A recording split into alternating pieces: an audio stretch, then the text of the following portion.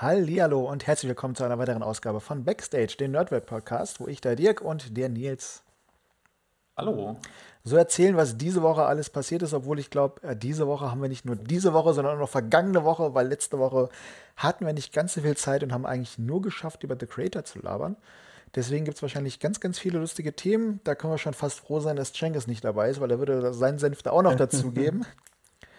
Und da wird es wahrscheinlich ewig lang werden. Ähm, Nils, dann, dann äh, du hast gerade schon mal gesagt, du hast schon so ein, zwei Filmchen geguckt und du hast äh, dich kulturell weiter gebildet. was hast du denn, was hast du denn alles getrieben? Genau, also ich war, äh, ich war zweimal im Theater in den Zweimal letzten 14 sogar. Tagen. Ja, also bei uns gibt es halt, das Theater ist, ja- ist ja städtisch und die Stadt ist ja auch mein Arbeitgeber. Mhm. Deswegen und, kriegst du Freikarten. Nee, nicht Freikarten, aber vergünstigten Eintritt bei äh, speziellen Vorstellungen so einmal im halben Jahr quasi. Mhm. Und dann haben wir uns halt zwei davon rausgesucht. Und jetzt muss ich aber ganz kurz mal aufstehen, weil ich muss dazu was holen. Zu dem einen Theaterstück. Warte mal ganz kurz. Vielleicht fängst du erstmal an, erzähl du mir mal ganz kurz einen Film, den du geguckt hast. Ich bin sofort wieder Ja. da. Okay, Nils muss erstmal Zeug holen, wa- warum auch immer. Ähm, ein Film, den ich gesehen habe, was was lief denn letzte Woche in der Sneak? Überleg gerade. Oh, Dogman lief in der Sneak. Das ist aber jetzt doof, dass Cengas nicht da war, weil ich habe Dogman nicht ganz so mitbekommen. Ich hatte wieder so ein, zwei gesundheitliche Problemchen, weswegen ich dann eher damit beschäftigt war, als mir wirklich den Film anzugucken. Aber was ich so an Rezensionen danach, also als Kritiken mitbekommen habe, soll der echt gut gewesen sein. Es geht halt um, um Douglas, äh, Douglas, keine Ahnung, ich kann keine blöden Namen mehr aussprechen, das ist halt echt doof, der als Junge von seinem Vater immer misshandelt wird und ähm, der wird auch in den, den Zwinger geworfen mit den ganzen Kampfhunden drin, weil der Vater denkt, okay, jetzt äh, kriegt der Junge echt eine Abreibung von den Tieren, aber die freunden sich mit ihm an. Und so bleibt es wohl auch, als äh, Douglas dann erwachsener ist. Er hat ähm, gesundheitliche Probleme, sprich, ähm, seine Beine wollen nicht so, wie er will, beziehungsweise er, hat, er muss im Rollstuhl sitzen, er kann nicht wirklich lange stehen oder laufen, geht gar nicht. Äh, hat dann teilweise Prothesen, die ihn äh, zumindest ermö ermöglichen, ähm, aufzustehen. Aber um irgendwie so ein bisschen an, an Kohle zu kommen, hat er seine Hunde so ein bisschen abgerichtet, dass sie quasi in Häuser einbrechen und ihnen irgendwelche Schmuckstücke bringen. Und gleichzeitig hat er sich auch so ein bisschen verliebt ins Theater und möchte natürlich dann auch da als Sänger ein bisschen auftreten und ähm, hofft, dass das ihm ermöglicht wird, trotz seiner Behinderung. Aber so ganz richtig im Kopf scheint er wohl auch nicht zu sein, denn ähm, er hat wohl so die ein oder anderen psychischen Problemchen, ähm, er tut sich noch mit Gangstern anlegen, wo ihm dann auch natürlich seine Hunde noch ein bisschen mithelfen. Und ich denke, es ist rundherum eigentlich ein gelungenes Ding. Wurde auch gut bewertet mit 6, ich muss lügen, 8,3 glaube ich oder sogar noch weniger. ich müsste kurz nachgucken. Aber 6, noch was hat er bekommen. Also er ist eigentlich auch gut angekommen. Und ich denke, das ist der neueste Film von Luc Besson, ein Regisseur, den wir kennen durch Filme wie Leon der Profi oder ähm, Das fünfte Element. Und ähm, soll gut gewesen sein. So, alliger Bimbam. Jetzt habe ich mir auch ein bisschen am ganz Kopf und Kragen gequasselt hier. Das ist ganz interessant. Es gibt einen Film, einen italienischen Film, der ist gerade mal ein paar Jahre alt, der heißt auch Dogman. Ich dachte, das wäre jetzt das Ami-Remake, aber ich glaube, da ging es um was komplett anderes. Nee, ist kein Remake. Also es gibt, glaube ich, sogar mehrere Filme, die Dogman heißen, auch mal zusammengeschrieben, mal auseinandergeschrieben. Ähm, aber das ist was Eigenständiges. Und ich habe jetzt gerade nochmal nachgeguckt, 6,83 war die richtige Bewertung. Also ist eigentlich, ja, ganz okay eigentlich. Also warst du, war okay. War, war, ich habe halt Also, nicht alles mitbekommen. Das ist halt das Problem. Was ich mitbekommen habe, sah gut aus. Ich werde mir den Film auch nochmal angucken, sobald ich dann halt auch mal ein bisschen Ruhe habe und ein bisschen mehr machen kann. Und dann ähm, bin ich mal gespannt, wie viel ich dann wirklich verpasst habe von diesem Film. Okay, jetzt zu meinem Theater. Ich habe nämlich mir nach dem Theater das entsprechende Buch gekauft, weil ich das so geil fand. Und zwar das erste Theaterstück, in dem wir waren, hat den Titel Was fehlt uns zum Glück von Max Frisch. Und das war halt eher so experimentelles Theater. Also Max Frisch, der ja auch heute in der Kinovorschau mal vorkam, beziehungsweise für die Zuhörer morgen. Ähm, der war Autor und der hat hier so Fragebögen geschrieben. Und da wollte ich ja jetzt nämlich auch ein paar Fragen vorlesen. Es geht nämlich bei dem Stück mehr so um Selbsterkenntnis. Also diese Fragebögen haben, haben verschiedene Themen und richten sich halt an den Leser oder in dem Theaterstück halt an den Zuschauer. Und es gibt keine Handlung. Also in diesem Theaterstück lesen die quasi die Fragen vor. Oder beziehungsweise ne, fragen halt das Publikum diese Fragen und währenddessen, ich weiß nicht, wie ich das sagen soll, eskalieren die halt immer mehr. Also das fängt halt damit an, die sitzen so auf der Bühne und lesen das so vor und am Ende schmieren sie halt das komplette Bühnenbild und sich selber mit Farbe voll. Also ist schon echt besonders und währenddessen kriegst du halt die ganze Zeit so Fragen wie, äh, wenn Sie sich beiläufig vorstellen, Sie wären nicht geboren worden, beunruhigt Sie diese Vorstellung? Nee, Oder. wusste ja nichts von. Ja, aber weißt du, da sind so halt ganz viele. Welche Probleme löst die gute Ehe? Weiß ich nicht. Ich war noch nie verheiratet und ich werde wahrscheinlich nie verheiratet sein. Oder wann macht die Ehe sie eher nervös? A. Im Alltag, B. Auf Reisen, C. Wenn sie allein sind, D. In Gesellschaft mit vielen, E. Unter vier Augen, F. Abends oder G. Morgens.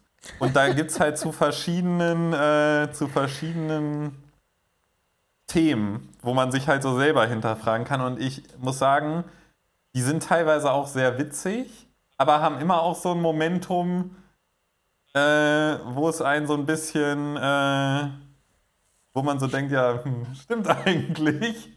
Wenn man da mal drüber nachdenkt, dann ist man, äh, Ja gut, mit der Ehe kann ich jetzt weniger anfangen. Was hast du denn für mich? ja gut, äh, Vater, da kann ich ja auch wenig, da kannst du auch wenig mit anfangen.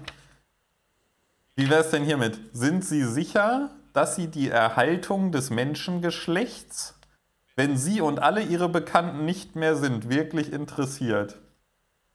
Das interessiert mich jetzt noch nicht mal. Geschweige denn. Oder wie viele Kinder von Ihnen sind nicht zur Welt gekommen durch Ihren Willen? Alter, keine Ahnung. Hätten Sie lieber einer anderen Nation angehört und welcher?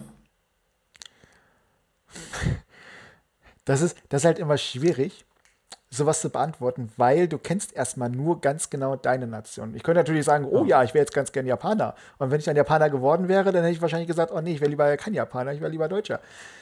Ist halt, ist halt immer schwierig. Hätte ich eine andere Nation sein wollen? Weiß ich nicht. Oder, also hier, wie gesagt, hier ist vieles, was man sich fragen kann. Zum Beispiel finde ich auch ganz interessant, Frage 20 im ersten Fragebogen ist, lieben Sie jemanden? Und Frage 21 ist, und woraus schließen Sie das? Ja, das ist halt wieder so die, die, die Frage, was ist Liebe und äh, wie liebt man? Es gibt ja verschiedene Liebe. Es gibt ja die, die Liebe zur Familie, es gibt die Liebe zu einer anderen Person, es Oh. gibt Liebe zu Dingen, was weiß ich. Du kannst auch sagen, so okay, ich, ich liebe dieses Buch oder ich liebe diesen Film. Ja. Das ist ja wieder eine andere Liebe, als Ja. wenn ich sage, okay, ich liebe meinen Partner. Oder ich liebe meine Mutter oder ich liebe meinen Bruder oder meine Schwester. Das ist ja alles wieder andere Dinge. Oder ich kann sagen, okay, ich liebe meinen meinen Job, ich liebe meinen Sport. Das ist aber alles wieder anders definiert. Aber weißt du, das finde ich alleine jetzt schon so schön daran, dass sich aus diesen Fragen ergibt sich ja jetzt schon wieder ganz viel, was Ja. man dazu sagen kann. Ja, wenn Komm, es ich halt, lese dir mal noch ein. wenn's halt einen betrifft. Wenn du jetzt sagst Ehe und Vaterschaft und sowas, da kann ich halt nichts zu sagen, weil ist nicht. In welchem der beiden Fälle sprechen Sie liebevoller von einer vergangenen Partnerschaft? wenn, Sie, wenn Sie eine Frau verlassen haben oder wenn Sie verlassen worden sind? Ähm, das ist eine gute Sache, das ist eine gute Frage. ähm, ich ich überlege gerade, wie oft ich jemanden verlassen habe. Es kommt nicht so häufig vor, meistens was andersrum. Liebevoller. Ja, man könnte natürlich sagen, da ich jetzt jemanden verlassen habe, würde ich wahrscheinlich liebevoller drüber, äh, weiß ich nicht. Ja, aber das ist was Interessantes ja. zum Nachdenken. Ja. Also ich schicke gegen keinen von meinen Ex-Partnern irgendeinen Groll, dass ich sagen würde, so, boah, die ist jetzt aber mega doof und ich, äh, wenn ich die auf der Straße sehe, dann grüße ich sie nicht oder ich will überhaupt nichts mehr mit ihr zu tun haben oder sowas. Ähm, ist, ist gar nicht der Fall. Gesetzt dem Fall, sie leben in der großen Hoffnung, dass der Mensch dem Menschen ein Helfer ist. und, und, haben Freunde, ja. Die sich aber dieser Hoffnung nicht anschließen können. Verringert sich dadurch ihre Freundschaft oder ihre große Hoffnung? Die, die, die Sache ist, ich gehöre halt selbst zu den Leuten, die, die nicht dran glauben. Leider. Es wäre echt schön, wenn Menschen anderen Menschen helfen würden. Dann hätten wir vielleicht irgendwann mal Weltfrieden. Aber es ist leider so, dass die meisten Menschen auf diesem Planeten leider Egoisten sind, die erstmal an sich selbst denken und dann, wenn sie vielleicht Zeit und Lust haben, vielleicht jemand anders helfen. Das halte ich für eine steile These, aber also Siehst du, da können wir schon direkt ziemlich nihilistisch. Ja, aber ist das so? Die meisten sind erstmal ja ich selbst. Und danach, ah, das glaube ich nicht. Danach kann ich vielleicht jemand anderen helfen. Komm, eine habe ich noch. Wenn Sie von einem Menschen sagen, er habe Humor, meinen Sie damit, dass er Sie zum Lachen bringt oder dass es Ihnen gelingt, ihn zum Lachen zu bringen? Äh, das Erste. Also wenn jemand Humor hat, dann ist das jemand, der mich zum Lachen bringen kann oder der mich erheitern, erheitern kann.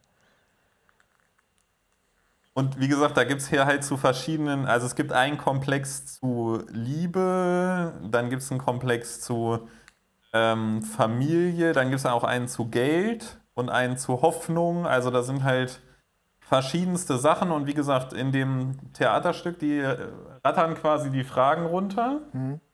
Und, und währenddessen, währenddessen machen sie so Performance Art. Okay. Also schon experimentell, aber ja. mit was zum Nachdenken. Mega. Also ich bin da rausgekommen. Ich war gut. Ich muss sagen, wir waren vorher griechisch essen und ich hatte dann halt auch schon einen Pilz und einen Uso drin. Aber ich bin da echt rausgekommen und ich war übelst begeistert. Also ich war halt so begeistert, ich habe mir auf dem Heimweg noch das Buch bei Amazon bestellt mit den Fragen, weil ich liebe ja auch das Nachdenken über sich selber und über andere. Mhm. Also das ist ja eins meiner liebsten Hobbys. Und das deswegen Nachdenken war das, über andere. Ja. Okay. Findest du das nicht interessant? Boah.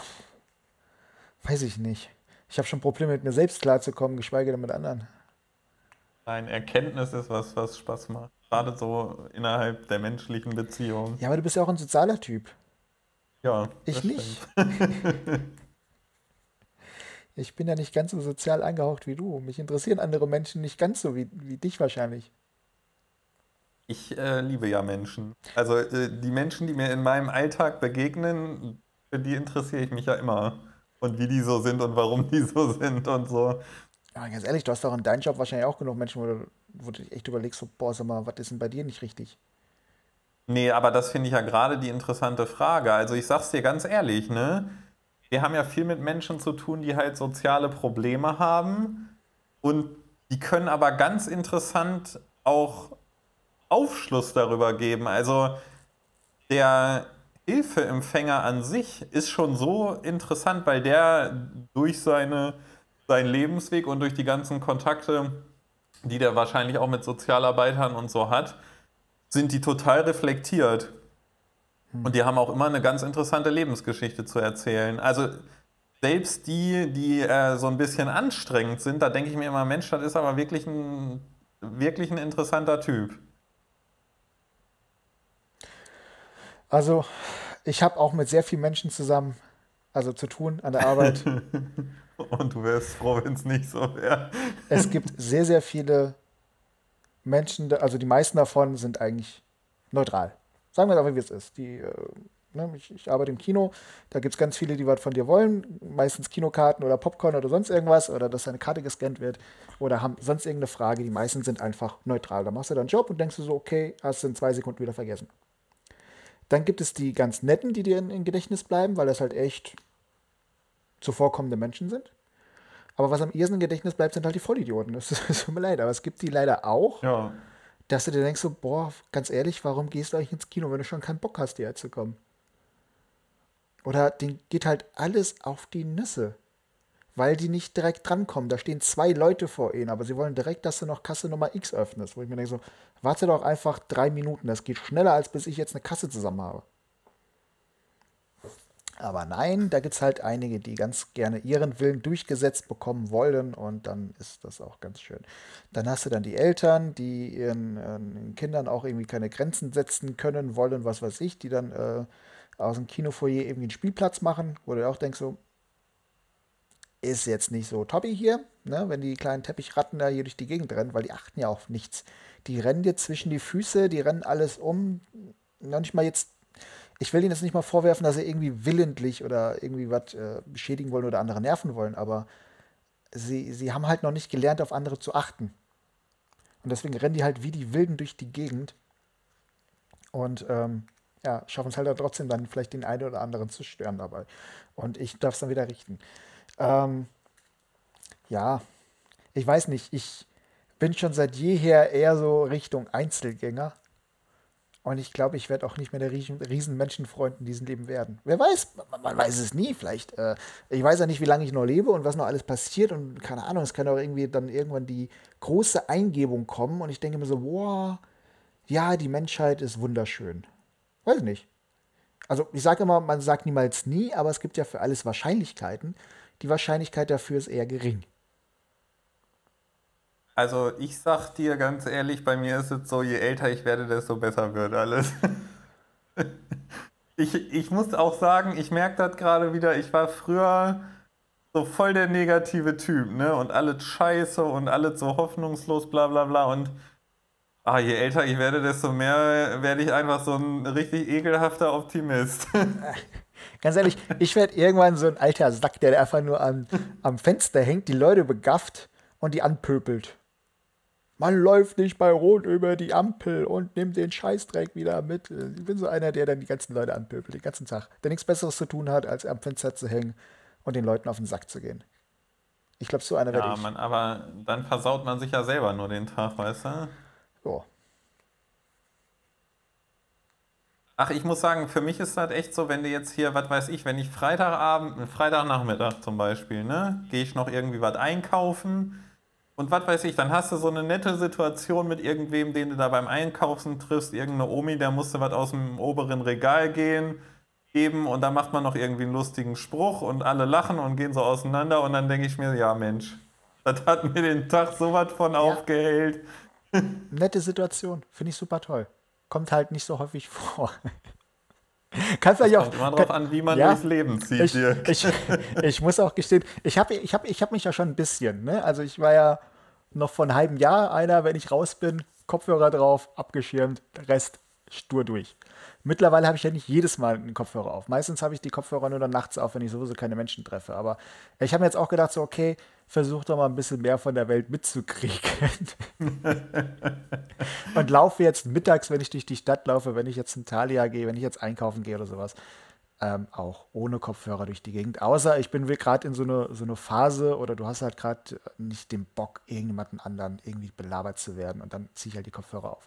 Aber ich versuche halt zurzeit echt ähm, weniger das so zu machen. Angefangen hat es dadurch, dass mein Datenvolumen leer war, wenn ich deswegen keine Musik mehr hören konnte. also, okay, da hast du halt so links und rechts immer so ein bisschen so Gesprächsfetzen mitgekriegt und dann denkst du so, okay, das ist ein interessantes Volk hier, okay. Weiß ich nicht. Vielleicht soll ich mich ja wirklich ein bisschen mehr in die Gesellschaft integrieren, aber ob ich jetzt so der der große Menschenfreund werde. Ich weiß es nicht. Ich, ich werde in der letzten Zeit auch sehr, sehr häufig zu irgendwelchen Veranstaltungen eingeladen, wo ich mir denke, so, willst du das jetzt? Und da denke ich mir so, doch, komm, mach mal. Ja. Mach doch Kann ich nur empfehlen. Mal.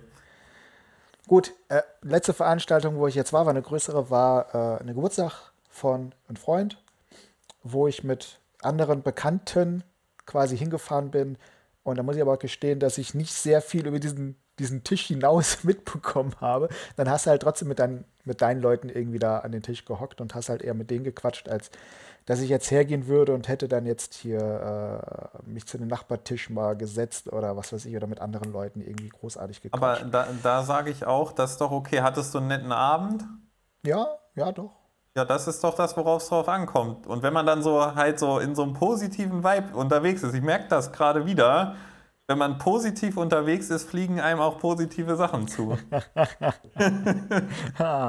ich, ich bin halt, tut mir leid, die meisten, die mich kennen, ich bin nicht unbedingt der positivste Mensch. Obwohl alle sagen, ich wäre so mega negativ. Das bin ich aber auch nicht. Ich bin leider. Das finde ich gar nicht. Ich, ich, ich bin leider ein Realist. Ich denke mir halt nicht, da, da gibt es halt irgendwelche Situationen und da mache ich mir halt Gedanken, ja, okay.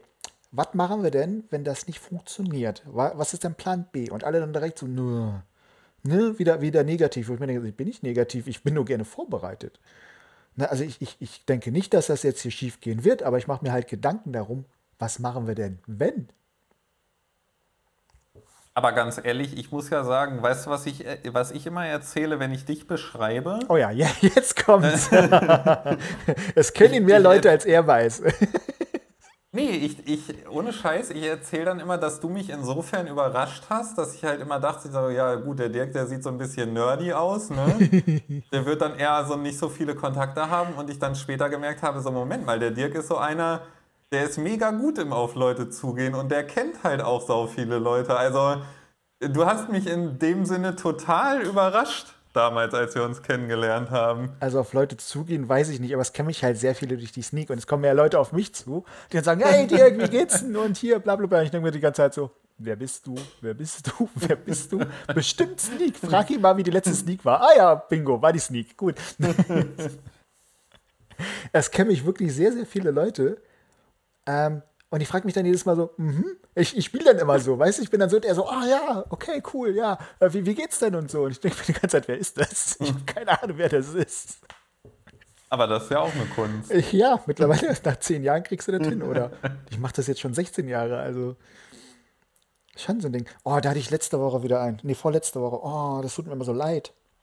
Ich mache ja, also wie gesagt, für alle, die es nicht kennen, ähm, ich arbeite im Kino. Im Kino gibt es montags immer die Sneak Preview. Dort zeigen wir halt einen Film vor seinem offiziellen äh, Start, aber wir verraten nicht, was läuft. So, vorher gibt es noch ein bisschen Rahmenhandlung. Ich stehe halt dann da vorne, erzähle ein bisschen Quatsch, werfe Poster, verlose Freikarten und so weiter. Und eine Möglichkeit, Freikarten zu gewinnen, ist halt bei so einem kleinen Spielchen mitzumachen. Dann ist es entweder singen, wir machen ein kleines Quiz, ich lasse irgendwelche Sachen suchen, irgendwelche Kleinigkeiten. Und da hatte ich jetzt vor zwei Wochen einen vorne, den habe ich dann gefragt, wie er heißt. Ich äh, sage den Namen jetzt nicht, ich nenne ihn einfach nur L. Und dann habe ich gefragt, L, hier, äh, du siehst ein bisschen jung aus, wie alt bist du denn? Und dann sagt er 16. Und dann denke ich so, schlecht. Er darf gar nicht da sein. Weil, da ja vorher nicht verraten wird, was in der Sneak läuft, ist die Sneak halt ab 18, weil halt natürlich auch Horrorfilme könnten, kommen könnten, die ab 18 sind.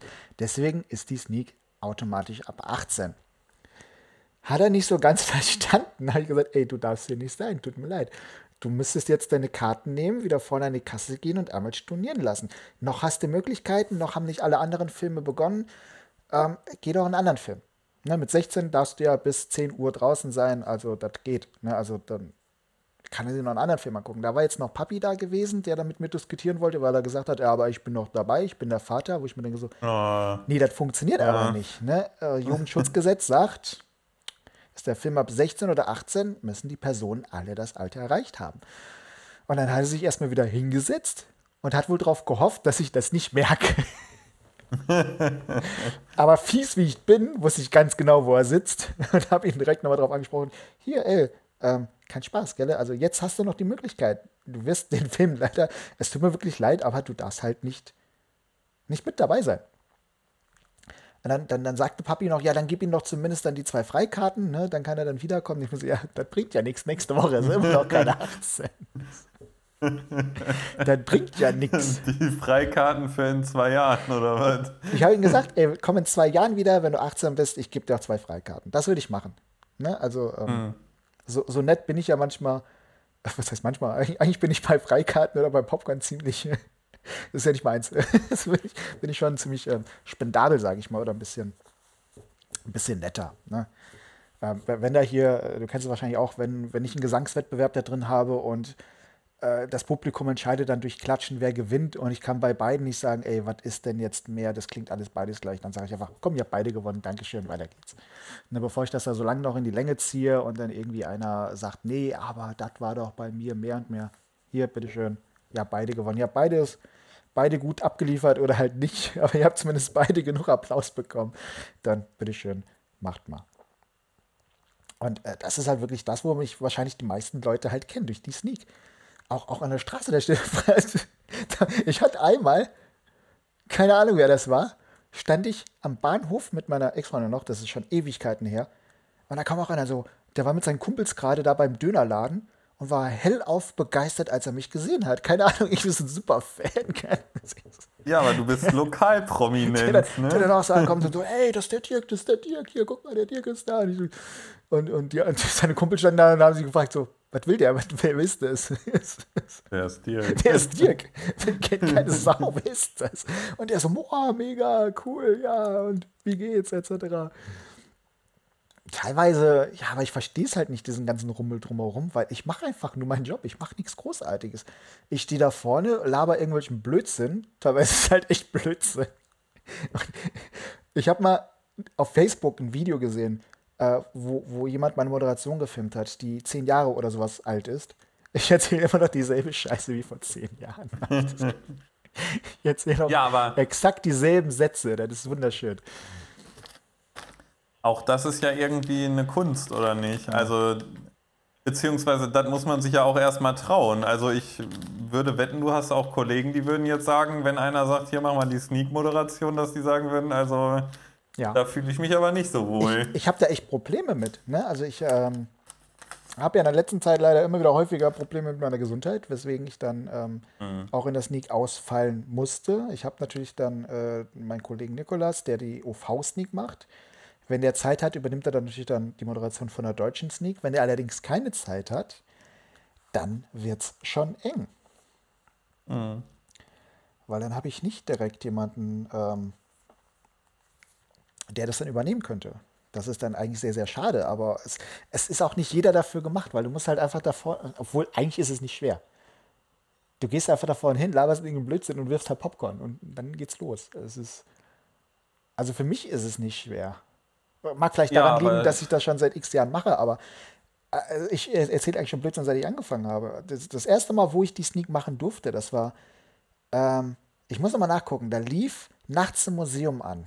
Da war die Sneak noch mittwochs gewesen und der damalige Moderator hat äh, mich da hat mich dann ange, angesprochen. Da habe ich im Kino schon gearbeitet, hier als, als Servicekraft, habe ein bisschen die Seele aufgeräumt und Popcorn verkauft und sowas. Äh, nicht Popcorn verkauft, Eis verkauft. Und der wusste, dass ich ein Sneaker bin. Ich, ich gehe ja schon in die Sneak, bevor ich überhaupt im Kino angefangen habe. Also kannte er mich schon, weil ich da auch schon so ein Dauergast bin. Und hat dann auch gesagt: So, ja, hier, äh, ich kann heute nicht, du machst heute Abend die Sneak. Und ich muss, wie, ich mache heute Abend die Sneak? Was? Ich kenne zwar ich kenne zwar die ganzen Sachen da drin, ne, und ich, ich kenne die Leute da drin, aber äh, trotzdem war es für mich dann schwer, herzugehen und zu sagen, okay, ich gehe da jetzt wirklich hin und äh, er, erzähl denen was. Das war dann schon ein bisschen schwieriger gewesen. Aber mein Glück war halt damals gewesen, als ich die erste Sneak gemacht habe, dass ich halt die ganzen Leute oder die meisten Leute da drin halt schon kannte. Ne? Wie gesagt, ich war ja mhm. dann auch schon Dauersneaker gewesen. Und äh, dann kannte man sich untereinander. Da war auch nicht so voll gewesen. Da waren vielleicht 30 Leute und 20 von den 30 kannte ich und dann war gut. Und ich habe trotzdem irgendeinen Blödsinn erzählt. Also das dauerte sehr, sehr lange, dass dieses Lampenfieber wegging für die Sneak. Jetzt haben wir im Kino natürlich noch andere Vorstellungen. Nicht nur die Sneaks, sondern auch nochmal dieses Metropolitan, die Met, die Metropolitan, Metropolitan, ich kann das Scheiß nicht aussprechen. Die Met, die Oper, so. Mhm. Und da soll es dann natürlich auch immer eine schöne äh, Moderation, Anmoderation geben. Und da habe ich immer Muffensausen wie sonst was. Ich hasse es. Ich hasse es quasi dann davor zu gehen und dann, ja, einen schönen guten Abend. Ist natürlich also ein bisschen gehobener. Ne? Also die, die Met kostet auch ein bisschen mehr und du hast dann wahrscheinlich auch dann äh, Leute drin, die äh, etwas gehobener sind als jetzt äh, in der Sneak gehen, meistens oh. Studenten. Ne? Denen ist das kackegal, was du davon erzählst, aber das ist Popcorn.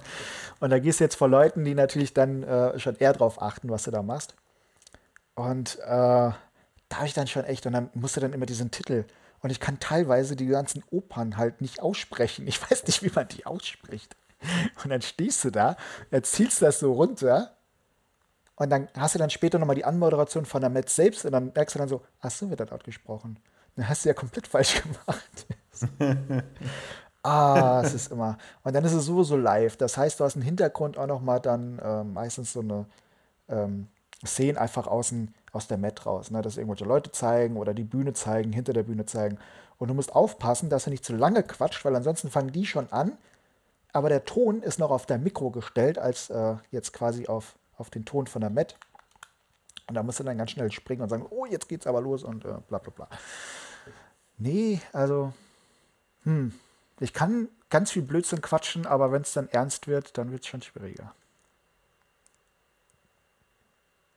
Ich muss aber sagen, sowas kommt ja auch immer mit der Zeit. Ne? Also ich weiß noch bei unserem ersten Livestream. Oh mein Gott. Da war ich mega nervös. ja. Also da war ich mega nervös, weil man ist das ja auch nicht gewohnt, dass das aufgezeichnet wird. Oder mir sagen ja auch immer wieder Leute, dass sie sich selber halt nicht so gerne hören ja. ne, in der Aufnahme. Und auch da sage ich, das ist mir mittlerweile Wuppe, weil ich nehme mich halt jede Woche selber auf mittlerweile. Ne?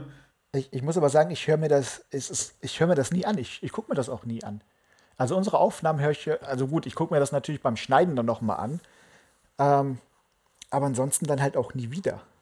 Das soll ich vielleicht mhm. mal machen. So. Man sollte sich dann, wir haben jetzt hier, ich weiß gar nicht, das ist jetzt Podcast Nummer 94 oder sowas.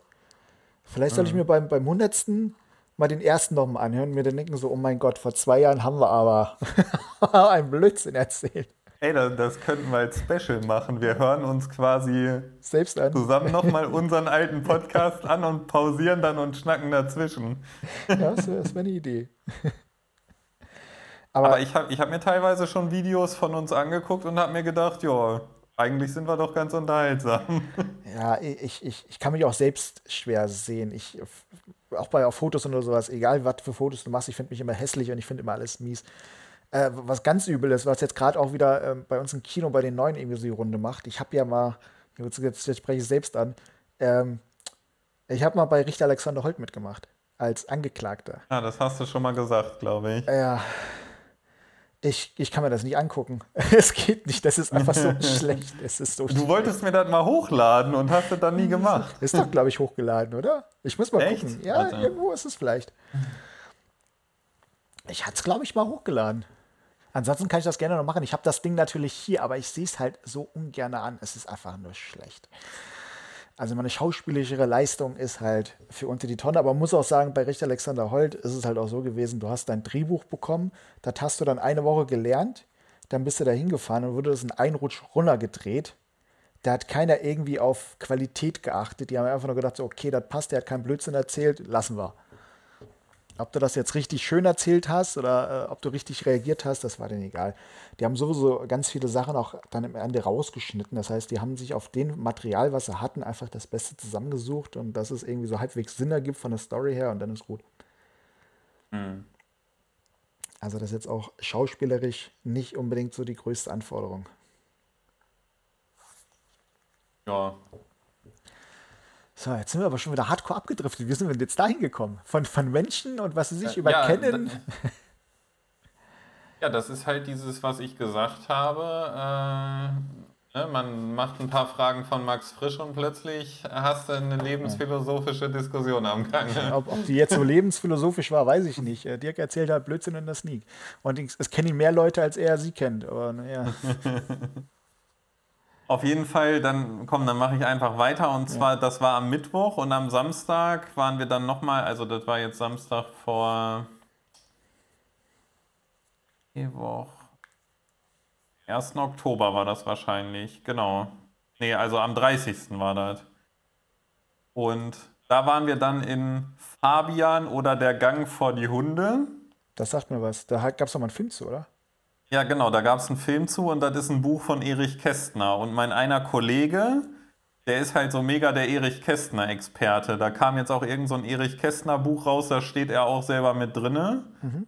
Also der, der hat irgendwie Germanistik studiert und ist halt mega die Koryphäe da. Okay. Und äh, der wollte das deswegen unbedingt sehen und ich muss sagen, ich saß da drin und habe mir gedacht, boah, was ist das für eine Scheiße? Also. Aber das ist nicht auch ein Film gewesen, sagen, den du angucken wolltest? Irgendwie war da was, oder? Ich glaube, der Film hat nee, dich interessiert. So ein, ja, kann sein, aber der war auch so scheiße lang, deswegen habe ich mir den vorher nicht angeguckt. Und wir, wir saßen quasi da mit der Konstellation. Mein Kollege, der Fabian, der kannte alles. Ne? also der kennt das Buch, der kennt den Film, das ist mega der Experte.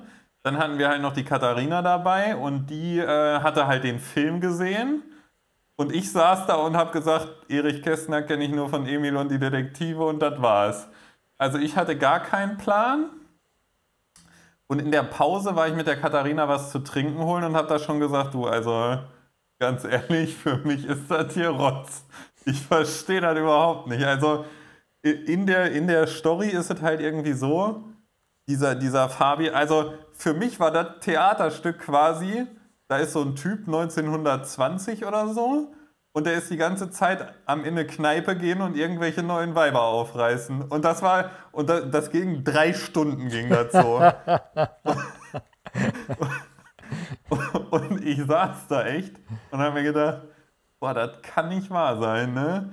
Und Katharina hat gesagt, also sie hätte das auch gar nicht verstanden, wenn sie nicht vorher den Film geguckt hätte. Und Fabi hat auch gesagt, also das war jetzt irgendwie totaler Quatsch. Also er fand das jetzt nicht scheiße, weil er wusste ja auch, worum es eigentlich geht. Mhm. Aber der hat auch gesagt, also so ohne Vorwissen kann das nichts sein. Und dann habe ich gesagt, jo, ich habe auch kein Vorwissen und für mich war das totale Scheiße. Ja, also jetzt nochmal den Film gucken und dann weißt du vielleicht ja, eher Bescheid, du, was dieses Theaterstück dir eigentlich sagen wollte. Ja, der Film soll auf jeden Fall besser sein. Oh, ja, wie gesagt, keine Ahnung. Ich fand das irgendwie das hat sich dann wieder nicht gelohnt, aber gut, hinterher haben wir noch ein paar Cocktails gesoffen und dann war die Welt auch wieder in Ordnung. Da hat man sich das Theaterstück einfach schön gesoffen und gut ist. So ist es. Ach nee, ja. Ansonsten habe ich noch zwei meiner Lieblingsfilme diese Woche geguckt. Mhm. Der erste war Der Ja-Sager. Mhm. Ach, du bist, so, du bist gerade wieder auf so diesen philosophischen Trip, oder? Ich bin gerade wieder so, ja, und auf so einer positiven Welle äh, unterwegs. Der Ja-Sager, Jim Carrey. Jim Carrey ist natürlich eine Koryphäe. Es ist eigentlich sehr, sehr schade, dass er gesagt hat, nee, okay, ich bin jetzt eigentlich mit, mit der Schauspielerei durch. Obwohl ich es natürlich jetzt gönne. Ich meine, der Mann ist jetzt auch nicht mehr der Jüngste. Aber er hat halt ein Talent, was du ansonsten nicht so häufig halt siehst. Das ist halt kein 0815-Schauspieler, den er so ersetzen kannst. Das ist wirklich einer, der... Mhm der ist halt auch, ich weiß nicht, ob er auch privat so drauf ist, aber du hast immer das Gefühl, der ist halt lustig drauf. Der hat halt immer seinen Humor mit drin und der kann halt auch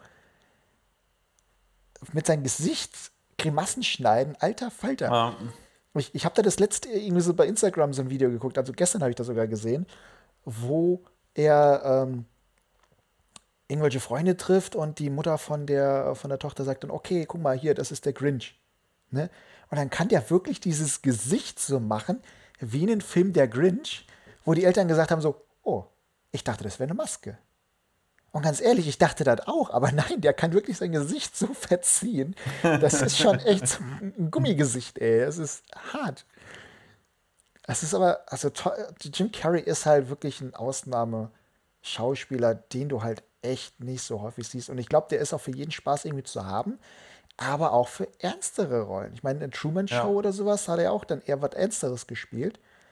Aber wenn es halt Komödien sind, der ist halt sich für nichts so schade. Der macht halt jeden Blödelei mit.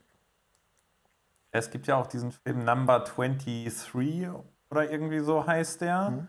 Und der ist ja komplett ernst. Mhm. Also da ist 0,0 Humor. Oder hier Vergiss mein nicht. Da ist er, ist er ja auch, das ist dieser Liebesfilm mit Kate Winslet äh, das ist ja auch komplett ernst. Also da gibt es keine Grimasse, da gibt es keinen Humor, der macht das top. Obwohl man ihn ja halt eher durch die Komödien kennt. Ich meine, wenn ich Jim Carrey jetzt irgendwie auf dem Plakat sehe, dann gehe ich eher davon aus, es ist eine Komödie und kein Drama. Ja, ja gut, das stimmt auch wieder. Aber ich muss nochmal sagen, der Ja-Sager, das ist einfach, das ist so ein richtig positiver, lebensbejahender Film.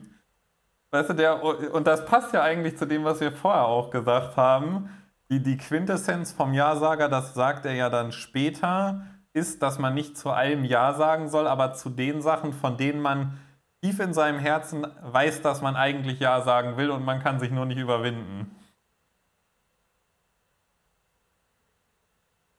Also, top. Mega geiler Film.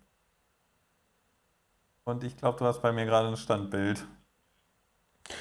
Ja, ich habe jetzt gerade auch nur ein bisschen was Abgehacktes mitbekommen. So. Wir sind halt, wir, wir sollten echt, ich habe dich vorhin noch gefragt, wollen wir das wirklich nutzen, das Programm, was wir immer nutzen, Skype? Oder wollen wir mal was anderes ausprobieren, weil wir in der letzten Zeit halt immer wieder irgendwelche kleinen Problemchen hatten mit Skype. Ja. Aber ich habe so abgehakt mitbekommen, dass du den Ja-Sager immer wieder ganz nett findest und äh, Spaß dran hast, ja. ihn zu gucken, weil er halt dann ja, lebensbejahender Film ist. Genau, und ich habe dann halt noch gesagt, das schlägt auch eine Brücke zu dem, was wir vorher besprochen haben, nämlich, dass man einfach Ja sagen sollte zu den Sachen, von denen man tief drin weiß, dass man Ja sagen will. ja, ja, manchmal traut man sich einfach nicht. Oder denkt sich so, oh nee, wenn ich da jetzt hingehe, kann nett sein, kann aber auch stinkend langweilig sein. Hier habe ich eher keinen Bock drauf. Das aber ja, vielleicht sollte man öfters dann einfach sagen, okay, dann probier es halt aus und äh, naja, nachher bist du schlauer. Genau, und dann gestern äh, haben wir dann 500 Days of Summer geguckt. Ah, der ist auch gut. der ist nicht, der ist nicht unbedingt so lebensbejahend, aber ich mag diese Diskrepanzen, die sie ganz gerne einbauen. Ich mag diese Szene, wo er frisch verliebt ist, so ein Disney-Look hat, wirklich die Vögel um ihn ja, rumzwitschern, ja. alles ist ganz toll, batz. und dann ist es Tage, x Tage später und dann merkst du so, äh, alles scheiße. ich muss auch sagen, also ich muss ja sagen, ne, bei 500 Days of Summer sage ich, das ist so ziemlich der realistischste Liebesfilm, den es so gibt. Mhm. Und ich muss sagen, was ich an dem so geil fand, ich habe mir den ja angeguckt, das erste Mal, weiß ich, da war ich 18 oder so. Und ich habe mich von dem Film sehr oft ertappt gefühlt. Mhm. Also, weil ich gedacht habe, so, hm, also genau so denkst du auch. Oder genau so geht es dir auch öfters mal. Also zwei finde ich, tot, also zwei Szenen, wo es mich echt gepackt hat, das ist einmal die, da sitzt er da mit seinen Freunden und sagt so, okay Leute, mit Summer ist es aus. Und dann so, ja, okay, was ist passiert? Und dann erzählt er quasi, wie die beiden im Aufzug sind und er fragt so, ja, wie war dein Wochenende? Und sie sagt dann, es war gut. Und dann, und dann sagt äh, seine Freundin so, hä, raff ich jetzt nicht. Und dann sagt er so, ja, sie hat gesagt, es war gut mit der Betonung auf gut.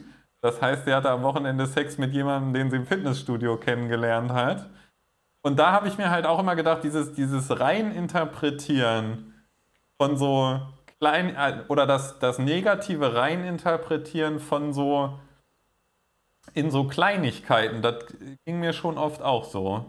Bin ich auch gut drin. Also ich weiß, ja, ne, also ich weiß nicht, das kennt man ja wahrscheinlich. Ich meine, das, das kann ja schon bei Sachen sein, was weiß ich, wenn dann die Antwort, die du bei WhatsApp kriegst, nicht so ist, wie man das gerne hätte, dass man dann schon wieder denkt, oh, stimmt da was nicht? Und das hatte ich zum Beispiel neulich auch wieder, wo ich dachte so, ach, das ist doch alles Rotze. Und dann habe ich nochmal so drüber nachgedacht und mir so gedacht, Moment mal, aber eigentlich es gibt gar keine objektiven Kriterien, dass deine negative Annahme stimmt. Das ist einfach nur so ein inneres Gefühl, was aber mit der Realität gar nichts zu tun hat. Und wenn man dann nicht drüber quatscht, kann es auch ganz schnell irgendwie zu Streitigkeiten oder einfach zu Diskrepanzen mhm. kommen, wo du meinst, wa, wa, was habe ich gemacht? Ich habe doch, ja. hab doch nur was geschrieben. Warum, warum ist sie jetzt sauer auf mich? Ne? Ich, ich habe da sogar ja. ein relativ gutes Beispiel äh, zu. Und zwar habe ich mit einer Freundin des letzten neuen Sport angefangen. Nennt sich Disc Golf, reden wir später noch mal ein bisschen drüber. Und äh, sie hat mir dann ein paar WhatsApp nochmal so geschickt, oh, guck mal hier, da gibt es äh, einen, einen, Store hier in, in, Dortmund, da kann man dann auch mal die Scheiben sowas ausprobieren und sowas. Und man hat halt echt gemerkt, okay, sie interessiert sich dafür, ich finde das auch echt cool, aber wie gesagt, äh, quatschen wir später nochmal drüber. Und dann habe ich halt da, darunter geschrieben, ja, okay, du bist ja äh, direkt voll in Flamme dafür. Das hat sie aber allerdings irgendwie negativ aufgenommen. Mhm. Und ganz ehrlich, glücklicherweise ist jemanden, die dann damit auch direkt so rausrückt. Die dann sagt, hier, ey, das fand ich jetzt nicht gut, äh, ich habe das so und so aufgenommen, wo ich mir gedacht habe, nee, nee, nee, nee, nee, so war das gar nicht gemeint. Ja. Ja, ich dachte, ja. Feuer und Flamme so in, in der Richtung was Positives, dass du sagst, okay, du interessierst dich sehr dafür und ähm, guckst auch direkt. Du, du, brennst für das Thema und du guckst auch direkt nach Zeug und wo was ist und bla bla bla. Das habe ich nicht als negativ, absolut nicht. Aber sie hat es für sich erstmal negativ aufgenommen. Hätte sie mich nicht darauf hingewiesen, wäre das wieder irgendwie so in sich hineingefressen und bla bla bla und dann irgendwann hätte sich gefragt, so, was habe ich denn jetzt gemacht? Deswegen mhm. ist schriftlich eigentlich auch immer schlecht. Ich mag absolut keine Sprachnachrichten. Die sind einfach nervig. Sie sind scheißen lange, weil dann jeder auch dann meint, er müsse nicht kurz und knapp. Bei, bei, bei, bei Textnachrichten machst du einfach kurz und knapp. Hast du eine Sprachnachricht, hat jeder irgendwie das Gefühl, er müsste ein halbes Diktat runterrattern, so fünf, sechs Minuten irgendwie was runter erzählen. Mhm. Und du stehst dann da und denkst so, ey, ich, ich höre mir das jetzt nicht fünf, sechs Minuten an. Ich habe da gerade keine Zeit so. Ich bin an der Arbeit. An der Arbeit kannst du mal so bei Sprachnachrichten Sprachnachricht mal kurz drüber lesen, kurz darauf antworten und gut ist. Aber nicht, du hörst ja jetzt nicht fünf, sechs Minuten irgendwie, ähm, ja. irgendwie einen Text an. Aber da kannst du eher rüberbringen, was du ausdrücken willst, als wenn du nur Text hast. Alles hat seine Vor- und Nachteile. Sehe ich genauso. Aber ich muss auch sagen, die Sprachnachricht äh, konterkariert eigentlich genau das, was ich so geil finde an moderner Kommunikation, dass man das auch nebenbei machen kann, weißt du? Also ich gucke ja zum mhm. Beispiel auch gerne mal eine Serie und chatte dann so und wenn mir dann einer eine Sprachnachricht schickt, denke ich mir auch so, nein Mann, das will ich nicht. Ich will hier meine Serie gucken und nebenbei mal antworten. ja. Auf jeden Fall zurück zu 500 Days ja. of Summer. Da gab es dann, und da gibt es noch die andere Szene, ich weiß nicht, ob du dich an die erinnerst. Da ist er bei Summer, nachdem alles schon quasi so im Arsch ist, auf eine Party eingeladen. Und dann siehst du links seine Erwartung mhm. und rechts im Splitscreen siehst du halt die mhm. Realität. Mhm. Und da liegen Welten dazwischen. Und auch das war sowas, wo ich mir dachte so, ey, das ist einfach so war, dass man immer mit so einer falschen Erwartungshaltung auch reingeht und dann halt auf die Schnauze fällt. Und, aber die, die schönste Konklusion, das mir gestern wieder aufgefallen an dem Film, ist ja eigentlich, ist ja so ein bisschen so, er ist ja der hoffnungslose Romantiker und sie ist so ein bisschen mehr rational und sagt so, ja, nee, du pass mal auf, äh, ne, ich will mich gar nicht binden, das fruchtet ja eh alles nicht und ich will auf keinen Fall die Freundin von irgendwem sein und so. Und die schönste Conclusio ist ja eigentlich, dass es mit den beiden ja nicht klappt. Spoiler übrigens, aber der Film ist von 2009, also ne, selber schuld, wenn ihr den noch nicht gesehen habt. Die, die, und die Conclusio ist aber, dass er trotzdem recht hat. Also sie heiratet dann da jemanden und sie sagt ihm ja, dass er recht hat mit dem, also dass er ans Schicksal glaubt und an die Liebe und so. Und obwohl er so mega enttäuscht ist, hat er eigentlich recht. Und das fand ich doch dann irgendwie wieder so ein schön, eine schöne Klammer. Ja, es ist ein interessanter Film. Er hat kein richtiges Happy End, was man erwarten würde. Ja. Aber er hat trotzdem irgendwie ein Happy End.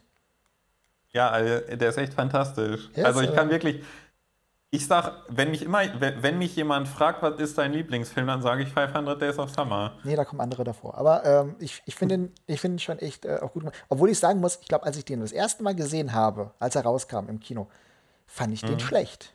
Ich habe den, glaube ich, mhm. erst beim zweiten oder dritten Mal so richtig dann äh, so richtig gerafft. aufgenommen. Naja, was heißt gerafft, aber dann halt so akzeptiert, okay, dann ist es halt keine Lost Story. Oder ja. es ist ja, ja, das ist schwierig. Ihr seid doch, doch irgendwie eine, aber nicht die, die ich sehen wollte. Oder nicht die. Ja, also wenn man da reingeht und sagt, so hier, was weiß ich, Pretty Woman, das ist mein Lieblingsfilm und ich will sowas nochmal sehen, dann wird man bitterlich enttäuscht. Ja. Ja, aber das ist doch mal gut, dass man was anderes sagt. Ja. Ja, ansonsten habe ich noch ein bisschen Modern Family geguckt. das war's. Ja, äh, was habe ich denn noch geguckt? Ähm, ich habe noch gesehen, was war denn der vorige Sneak-Film, überlege ich gerade. Ist auch wurscht. Ähm, ich habe noch gesehen eine Serie. Ich habe jetzt wieder umgeswitcht auf äh, Disney Plus. Hm? Und ich habe angefangen mit Loki Staffel 2, was ganz praktisch ist, dass Disney Plus gerade so günstig war, weil äh, Loki jetzt gestartet ist. Ich habe die erste Folge bisher gesehen und ich habe mich gefragt, what the fuck, ich raff hier gar nichts mehr. ich, ich weiß noch, als die Staffel 1 zu Ende ging, war für mich vieles klar. Ne, da habe ich mir gedacht, boah, das ist mega, das macht alles Sinn. Ne, jetzt kommen auch Sachen zusammen. Ne, das ergibt jetzt alles mhm. Sinn. Und ich habe jetzt Staffel 2 angefangen und immer so, was treibt der da? Wo ist der da? Was machen die da? Was will der jetzt mhm. da? Ich glaube, ich brauche nochmal ein Recap von Staffel 1, um da wirklich jetzt mal zu, zu realisieren, was da jetzt eigentlich abgeht. Also ich fand, ich fand äh, die Folge 1 trotzdem gut.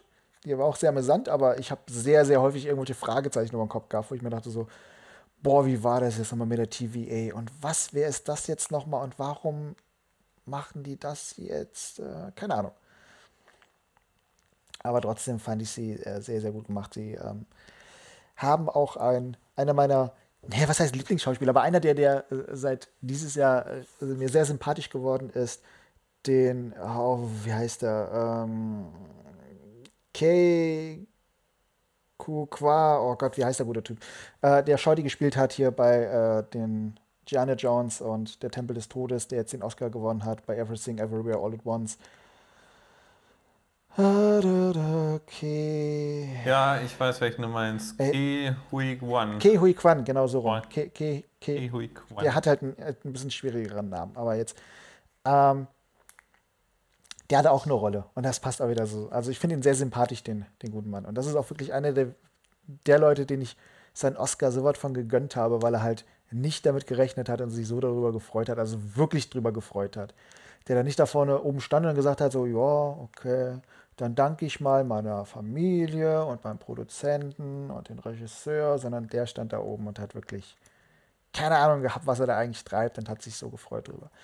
Und der hat jetzt natürlich da jetzt auch eine Rolle bekommen in äh, Loki Staffel 2 und äh, die finde ich auch bisher sehr sympathisch. Ja, ich muss sagen, ich habe, äh, das ist irgendwie an mir vorbeigerauscht. Also ich habe mal gesehen, dass das gelaufen ist, aber, oder dass Loki jetzt wieder angefangen hat. Mhm. Aber ich hatte jetzt noch nicht die Zeit und die Muße, mich hinzusetzen und das anzufangen. Äh, hast du Loki Staffel 1 gesehen? Ja, und fand's mega. Ja. Ja, genau. Mich würde auch mal interessieren, wenn du jetzt Folge 2, also äh, Folge 1 von Staffel 2 guckst, ob du dann auch erstmal da stehst und dich fragst, so, äh, was habe ich verpasst? Was habe ich alles sein, vergessen? Ne? das ist eher so die also Frage. ich, mein Vorteil ist natürlich, ich habe Loki schon zweimal gesehen. Okay, gut. also vielleicht ist deswegen, äh, habe ich deswegen das Glück und ist ein bisschen mehr noch kleben geblieben. Hm. Mir ging das ja mal so ganz schlimm bei hier, äh, tote Mädchen lügen nicht. Mhm. Weißt du, ja, wo sie sich umbringt und schickt dann halt so Kassetten, wo sie dann erzählt, warum. Mhm. Und da gibt es auch noch eine zweite Staffel und da saß ich echt da und ich habe die zweite Staffel angemacht, habe die erste Folge gesehen und habe mir gedacht, ich weiß nichts. Ich weiß komplett gar nichts mehr aus der ersten Staffel. Äh, und es macht keinen Sinn, das weiter zu gucken. Und die erste nochmal zu gucken, wollte ich dann auch nicht. Ja, ich mache da meistens bei YouTube gibt es meistens so diese Recap äh, mhm. äh, Sendungen, die dann einfach kurz in zehn Minuten einfach nochmal das Wichtigste zusammenfassen. Ich habe auf Disney Plus dann noch eine andere Serie angefangen, weil die mir so häufig irgendwo immer wieder angeboten worden ist, weil sie gesagt haben, so, boah, die ist mega gut, musst du dir angucken, nämlich The Bear. Mhm, ja, wurde mir jetzt neulich auch wieder empfohlen von einem Kollegen, der gerade, ein Kollege von mir ist gerade dauerkrank ja. Und dann habe ich so gesagt, so, yo, äh, ich hoffe, du hast wenigstens die Zeit genutzt, um ein bisschen Serien wegzuballern. Und dann, das Erste, was er geschrieben hat, ist, guck dir The Bear an, das ist mega geil. Ich habe da jetzt noch nicht so viele Folgen geguckt, ich glaube vier oder sowas. Es geht halt um einen Gourmetkoch an sich, ähm, der jetzt allerdings in so einer Sandwich-Spelunke abhängt, weil äh, sein Bruder, der hat äh, Selbstmord begangen, Michael, und äh, unser, unser Darsteller heißt Kam, Kami. Und ähm, der hängt jetzt in dieser Sandwich-Blunke da rum, weil er einfach versucht halt, das Vermächtnis seines Bruders irgendwie zum Laufen zu kriegen. Und das ist halt so eine abgeranzte Bude, wo die ganzen Mitarbeiter eigentlich kein richtiges Zusammenspiel haben, wo das Messer auf dem Boden rumfliegt, wo also eigentlich nichts funktioniert. Ne, die, die machen dann irgendwie Spaghettis und dann hauen sie aber die Tomatensoße noch irgendwie aus der Dose dazu und äh, keine Ahnung. Ja, und der, der überlegt sich halt, okay, wie kann man da was, was Besseres draus machen, was Gehobeneres draus machen? Wie kann man den Laden hier richtig zum Laufen bringen, dass das auch wieder Geld abwirft? Weil der ist natürlich jetzt hoch verschuldet durch den blöden Laden, weil der äh, Bruder sich dann immer wieder Geld geliehen hat. Und der gibt sich halt echt Mühe, diesen Laden wieder zum Laufen zu bringen, obwohl da, ähm, er nennt sich zwar, äh, ich glaube, Cousin oder sowas, aber er ist, glaube ich, gar nicht verwandt mit denen, aber das ist zumindest ein guter Kumpel gewesen mhm. von seinem Bruder, der dann eher so das Sagen in diesem Laden hat. Und mit denen ähm, gerät halt auch öfters aneinander, weil der halt, der sagte, okay, wir machen das so, wie es immer war. Während Kami jetzt sagt so, ey, so kannst du es halt nicht laufen lassen. Wir müssen halt irgendwie gucken, dass wir dann vielleicht was, was Besseres draus machen können. Oder er will was Besseres draus machen. Intelligent erzählt ist es eigentlich dadurch, dass er halt jetzt eine neue Praktikantin ähm, angestellt hat, und man quasi mit ihr so immer so die ganzen Beziehungen und bla bla bla mitbekommt. Ne? Dass er das nicht direkt so immer äh, von irgendwelchen Leuten erzählt wird, ach ja, übrigens weißt du noch, sondern ähm, man bekommt so nach und nach durch Erzählungen, die sie halt mitbekommt, dann auch so die, äh, die ganze Geschichte so ein bisschen mit. Und der ist halt jetzt erstmal komplett unten. Der denkt sich, boah, ey, wo bin ich hier gelandet? und versucht dann natürlich was Gutes draus zu machen. Er versucht natürlich dann auch irgendwie ein Teamwork irgendwie zusammenzukriegen. Ich weiß nicht, hast du mal Overcooked gespielt? Overcooked, das sagt mir. Ja, das, das ist so ein, so ein Spielchen, wo du einfach in der Küche arbeitest und du musst halt versuchen, schnellstmöglich mhm. irgendwelche Gerichte rauszukriegen. Und dann musst du halt dann erst die Zwiebel äh, schneiden, dann musst du die Tomaten schneiden, dann musst du dann halt Sachen zusammenbauen dann. Ne? Und da, das spielst halt mit mehreren Leuten und am besten sprichst du dich halt ab. Mhm. Wenn das nicht funktioniert, gibt es Chaos. Und genau so ein Chaos habe ich irgendwie das Gefühl, hat er bisher in seiner Küche drin. Und er versucht jetzt ein bisschen Ordnung reinzukriegen, dass er da halt ein Team hat, was dann halt auch funktioniert, wo jeder weiß, was sein Job ist, was, was er machen muss, äh, damit das halt funktioniert. Bisher finde ich es eigentlich ganz cool. Vor allem, wenn er dann halt irgendwie anfängt zu kochen und dann irgendwie was macht, dann erinnert mich das so ein bisschen an Shogoki Kinosoma. Wenn der halt mhm. halt irgendwie was kocht, dann kriegst du immer Lust, ey, boah, ich will jetzt auch was kochen. Ich krieg jetzt Hunger. So wie bei Kiste Cook. Ja, das ist sowas. Ey, ganz ehrlich, Kiste Cook ist die lasche Variante, wo eigentlich alles total ah. äh, happy ist. Und das ist jetzt die, die Variante, wo echt alles am Arsch ist. Und der wirklich mhm. von null beginnen muss. Bei Kiste Cook war es ja so, okay, der hat keinen Bock mehr gehabt auf seinen Job. Der hat sich einfach so einen ah. Wagen gemietet und dann ist er rumgefahren und alle waren direkt happy und es hat alles funktioniert. Ne, das war so ein Feel-Good-Movie. Und das ist ah. jetzt die andere, das ist die realistische Version quasi davon. Aber ja, Und äh, bisher ist es interessant genug, dass ich sage, okay, jetzt will ich aber wissen, wie es weitergeht. Boah, klingt gut. Also ich muss sagen, The Bear ist auch auf jeden Fall noch auf meiner Liste. Weil, wie gesagt, man hört von jedem, dass das geil sein soll. Ja.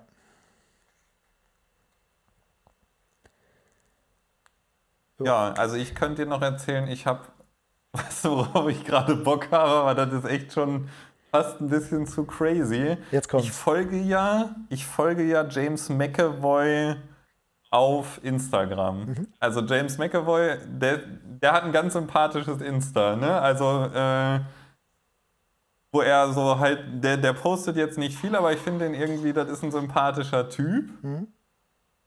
Und der hat jetzt da gepostet, dass er selber in einem Musical war. Und zwar in dem Musical Sunset Boulevard was halt äh, quasi die Vermusicalung von einem, von einem Film ist, von einem relativ alten Schwarz-Weiß-Film. Und in der Hauptrolle ist Nicole Scherzinger. Mhm. Und James McAvoy hat das mega weggelobt und ich muss sagen, ich habe jetzt übelst Bock, mir das anzugucken.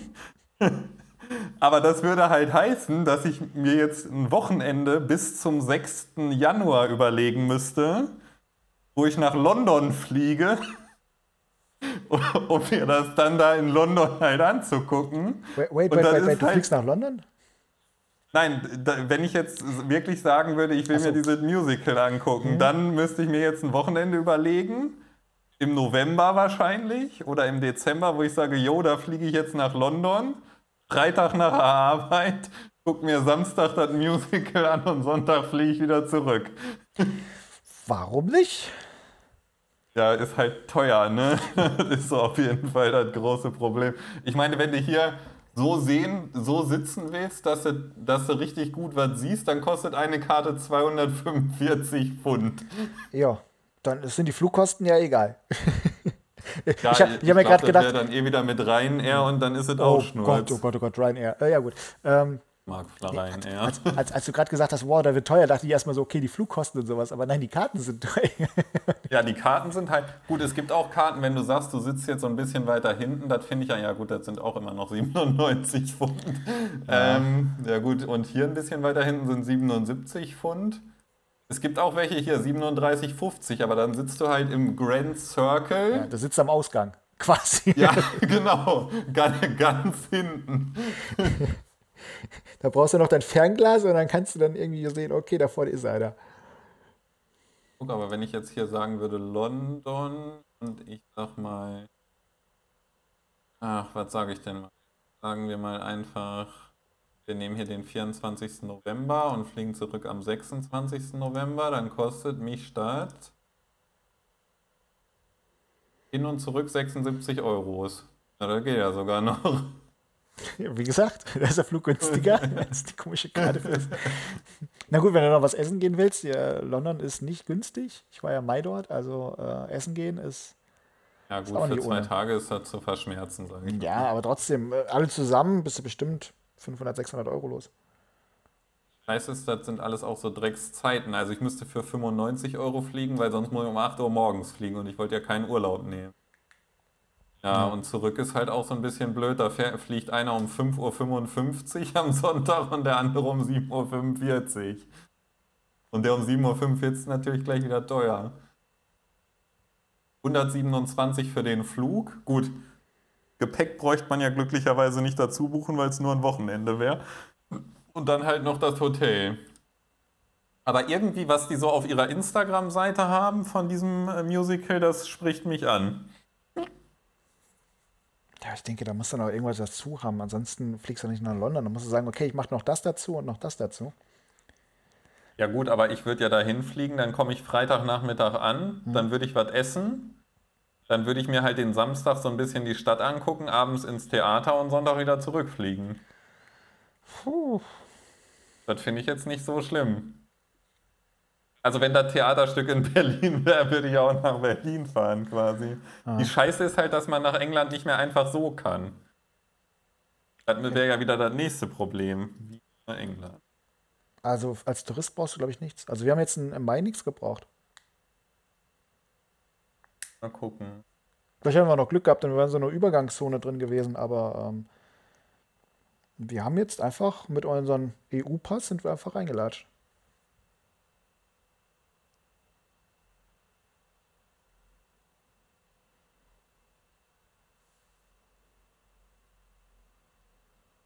EU-Bürger benötigen lediglich einen gültigen Reisepass, der über die gesamte Aufenthaltsdauer gültig bleiben muss. Ein Personalausweis ist nicht ausreichend.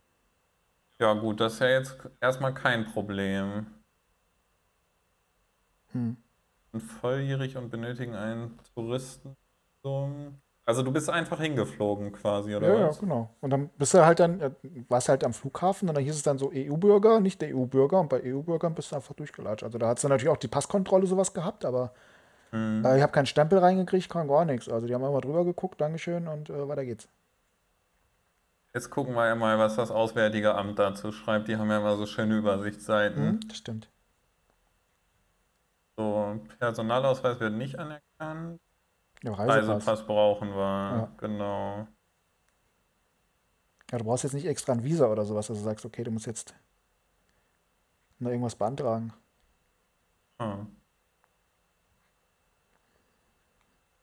Dem Theaterstück wieder ein Stückchen näher. Man merkt schon, es grübelt, es ja, also wie gesagt, so an sich, ich mache ja selten was Verrücktes, aber da habe ich mir irgendwie gedacht, oh Mensch, da könnte man auch mal irgendwie was Beklopptes machen. Also wenn es für dich verrückt ist, dann mache ich öfters was Verrücktes. Ja, ich bin, also für mich wäre das jetzt irgendwie sehr äh, ungewöhnlich. Ich fahre auch mal eine, für, für eine Schüssel Rahmen nach Düsseldorf. Ja gut, okay, das ist ja ja gut, aber fliegen für ein Wochenende, um sich ein Theaterstück anzugucken, finde ich schon ein bisschen verrückt. Hm. Also, ich habe jetzt herausgefunden, you will not need a visa to come to the UK. You can stay six months without visa, schreiben die hier auf ihrer Seite. Gut, also das Problem haben wir schon mal nicht. Ja. Dann überlege ich mir mal, ob ich das nicht doch mache. Gut. Ähm, mir fällt gerade ein, ich hatte ja letzte Woche in der Kinovorschau was versprochen in, äh, über einen Film, den wir dann ähm, im Podcast quatschen, über den wir dann nicht mehr gequatscht haben, weil wir nur so über so Creator gequatscht haben. Deswegen will ich es jetzt gerade nochmal mit aufnehmen. Und zwar ging das um den vorigen Sneak-Film. Mir ist endlich wieder eingefallen, was es war, nämlich Freelance die Komödie mit John Cena, wo John Cena einen Anwalt spielt. Er hat aber eigentlich keinen Bock auf dieses Larifari-Leben und äh, geht dann zur US Army und da fühlt er sich eigentlich wohl und frei. Hat dann allerdings einen Unfall, sein Rücken ist kaputt und muss jetzt wieder zurück in sein, sein altes Leben und fühlt sich wieder stinkend gelangweilt. Ne? er hat zwar Frau und Kind, ein schönes, äh, schönes Haus und sowas, aber ah, trotzdem, das ist nicht sein Leben. Und da kommt dann ein Ex-Kamerad und sagt, hier, ich habe jetzt hier eine Sicherheitsfirma gegründet, ich habe hier einen Job für dich. Ne? Ich habe hier eine Journalistin, die möchte in, in, ein fiktives Land reisen, dessen Namen ich vergessen habe, Paldonien, Paldonia, irgendwie sowas hieß das Ding. Und hm. möchte da den, ähm, den Diktator, den hiesigen Diktator einmal ähm, interviewen, der bisher nie ein Interview gegeben hat. Äh, der heißt, glaube ich, Venegas und ähm, deswegen braucht sie da vielleicht einen, einen Beschützer. Ne? Und er hat gesagt, okay, ist ein easy Job, verdient vielleicht nicht verkehrt und ich habe vielleicht mal wieder ein bisschen, zumindest das Gefühl, dass ich ein bisschen Action habe. Begleitet sie dann halt und äh, kaum ist sie da, gibt es natürlich einen Anschlag auf den Diktator und Rebellen kommen und er muss jetzt mit ihr und, und Venegas in den Dschungel flüchten und versucht dann natürlich sie jetzt da irgendwie wieder rauszukriegen. Mhm. Und ganz ehrlich, das ist alles scheißen langweilig. ja, also John Cena steht ja auch mehr für diese blödeligen Komödien, Ey, oder nicht? Ich, ich muss echt gestehen, John Cena ist wirklich einer, der wohl sich auch für einige Dinge nicht zu schade ist. Der sich auch denkt, so, oh, blöde mm. Leiden, geil, mache ich mit. Der hat ja auch bei Barbie mitgemacht ähm, als, als Mehrmann oder sowas. Arsch, darf nur Arschstaufen. Ja, das kenne ich jetzt nicht, aber keine Ahnung. Nicht? Der kam aber auch in der Sneak. Das war dieser, wo diese drei Highschool-Mädchen wollen ihr erstes Mal haben und die Eltern wollen das verhindern. Weißt okay. du, so beim Abschluss bei. Ja, irgendwas sagt mir das. Irgendwas sagt mir das. Ja. Also ist. War ganz schlimm. ja, aber wie gesagt, John Cena macht halt auch mal so blöde Leiden mit. Ähm, das Blöde ist nur, der Film ist halt nicht witzig. Wenn er jetzt zumindest witzig wäre, witzige Szenen drin hatte, hätte, dann, dann wäre es dann auch okay gewesen. Dann hätte er gesagt, okay, es ist eine 0815 Komödie, hat ein paar lustige Momente drin, Dankeschön, weiter geht's. Aber nee, der einzige Coole eigentlich in diesem ganzen blöden Film war halt der Diktator Venegas, der halt sich einfach gedacht hat, so, oh, ich bin, ich bin halt jetzt hier, ich bin unantastbar, ist mir doch scheißegal. Der halt wirklich so einen auch auf Klischee-Diktator raushängen ließ, ne, mit goldener Knarre mhm. und alles drum und dran, aber so richtig schön over the top. Das war der witzigste mhm. in diesem ganzen Film. Und der Rest halt eher so, naja, so lala. Also man, ich habe irgendwie das Gefühl, man hat irgendwie versucht, John Cena so ein bisschen zu bremsen, weil ich glaube, der hat eigentlich Bock gehabt für mehr. Natürlich mhm. gibt es da irgendwelche ähm, Szenen drin, wo du merkst, okay, die parodieren jetzt die großen Actionfilme oder sowas, wo er dann mit so einem riesen Gewehr da steht und in Zeitlupe dann ein Ding nach dem anderen abfeuert. Aber ja, das kann den ganzen Film halt einer auch nicht mehr retten. Ich glaube, ich habe mhm. ihm am Ende irgendwie fünf Punkte gegeben, war okay und ähm, ich werde ihn nie wieder sehen und das ist auch gut. Ja, jetzt auch keiner, der mich angesprochen hätte. Ja. Aber ich, mu ich muss dich nochmal nach einem anderen finden, fragen, weil ich den nämlich interessant gefunden hätte. Das war die Woche davor, wo ich auch nicht da war. Hm. Speak No Evil. Speak No Evil ist ein Film, den wir größtenteils eigentlich eher schlecht fanden aber mhm. wieder so ein Film ist, wo wir immer noch drüber quatschen. Weißt du, wo dann trotzdem irgendwie immer noch mal so ein bisschen Potenzial da ist, wo du sagst, okay, da diskutieren wir jetzt drüber. Warum hat er das denn jetzt so gemacht und so? Bei Speak No Evil, hatten wir, glaube ich, vorletzte Woche äh, ziemlich breit äh, gequatscht, mhm. Schenges und ich. Hast du dir die Folge angehört? Nee. Ja, ist klar. Deswegen frage ich ja jetzt. deswegen fragst du jetzt einfach mich direkt. Es geht halt um eine dänische Familie, die während ihren Toskana-Urlaub eine niederländische Familie kennenlernt. Ne, eigentlich eher so mhm. durch die Kinder und so, und dann kam so ein bisschen zusammen. Und die fahren dann alle wieder nach Hause und dann bekommt die dänische Familie eine Einladung. Ne? Die sagen, okay, hier, wir haben uns doch gut verstanden, kommt doch mal nach Holland und verbringt doch einfach mal ein Wochenende bei uns. Ne? Machen uns einfach ein schönes Wochenende. Und dann fahren die dahin irgendwie in die La Pampa, wo ringsherum nichts ist. Und äh, fängt schon mal ganz nett an, nur, ne? also ganz normal.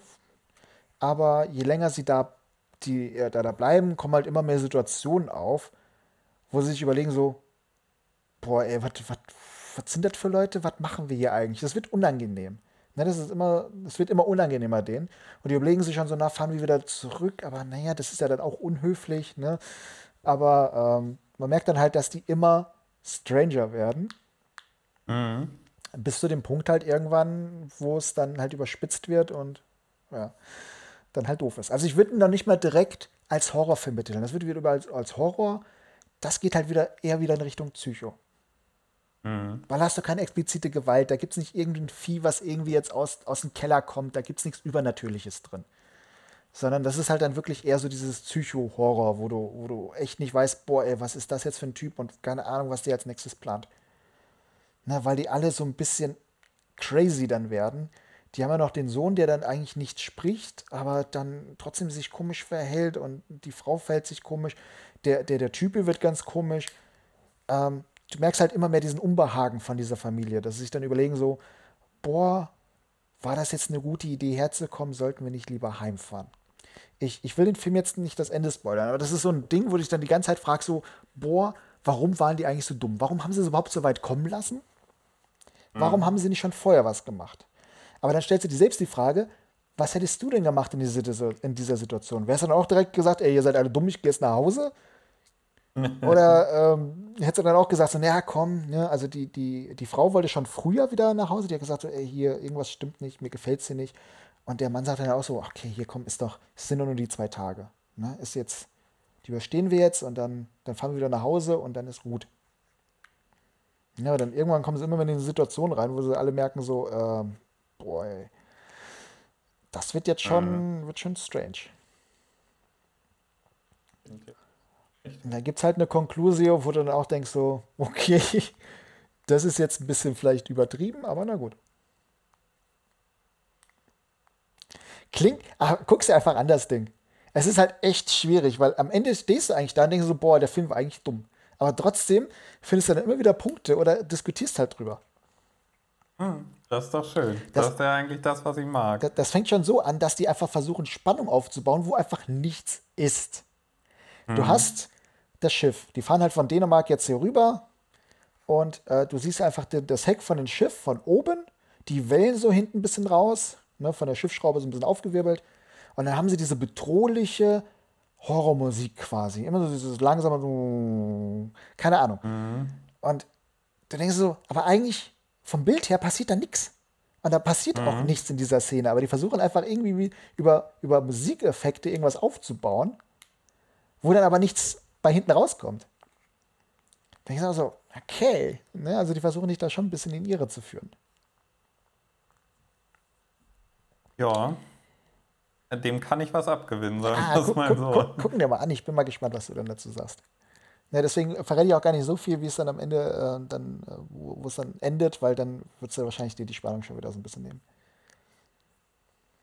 Also es baut sich dann immer mehr so ein bisschen auf, der ganze Unbehagen.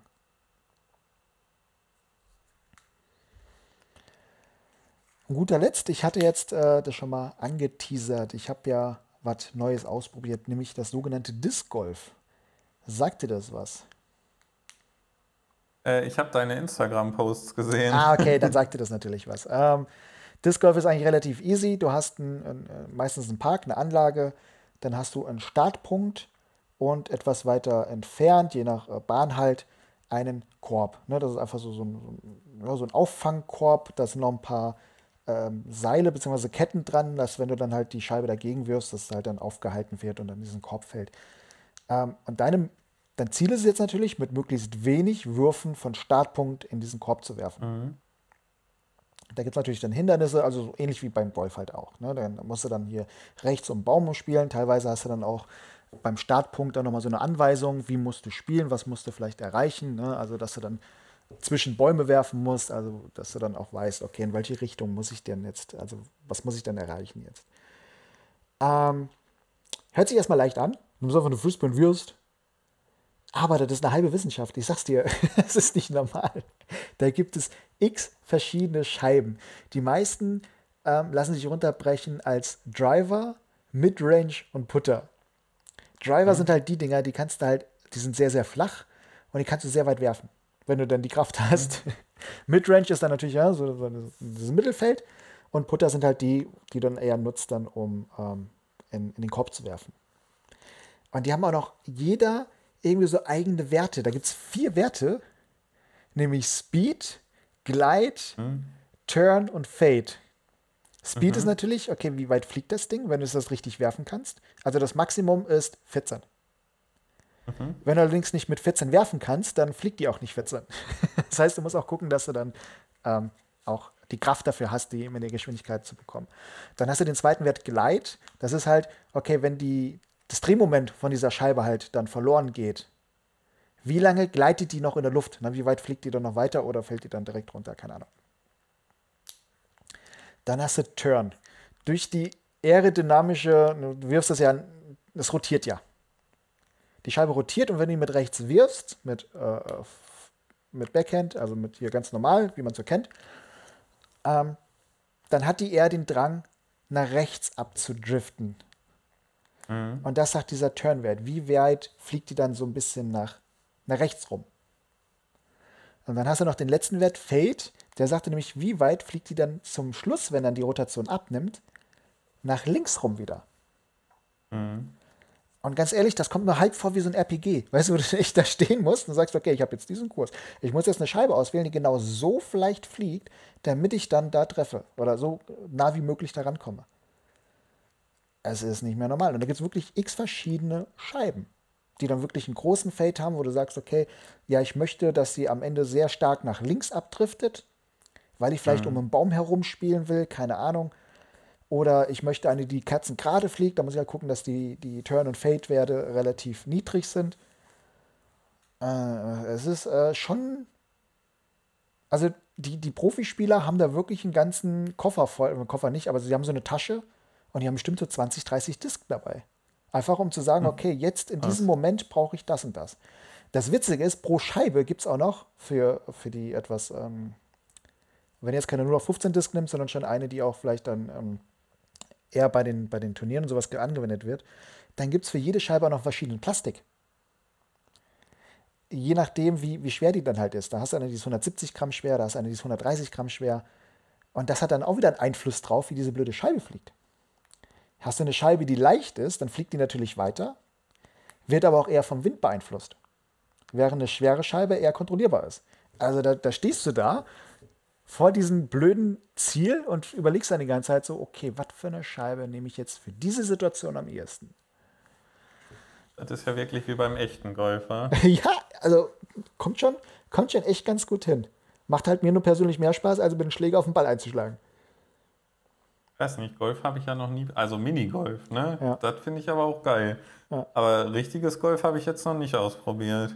Und ähm, wir waren jetzt hier in, in, in Herbstein gewesen. Da gibt es eine Anlage, die teilweise ein bisschen neuer ist. Die haben sie wahrscheinlich, die haben sie schon mal ein bisschen umgesetzt. Also die Karte, die sie da ausgeben, die stimmt schon gar nicht mehr, weil da irgendwie ein, ein, äh, ein Bau vonstatten geht. Da werden Häuser gebaut. Deswegen haben sie so ein, zwei Sachen umgebaut. Da fehlen teilweise Hinweise. Da musst du schon ein bisschen suchen. Sag mal, wo fange ich jetzt eigentlich für die Bahn jetzt eigentlich an?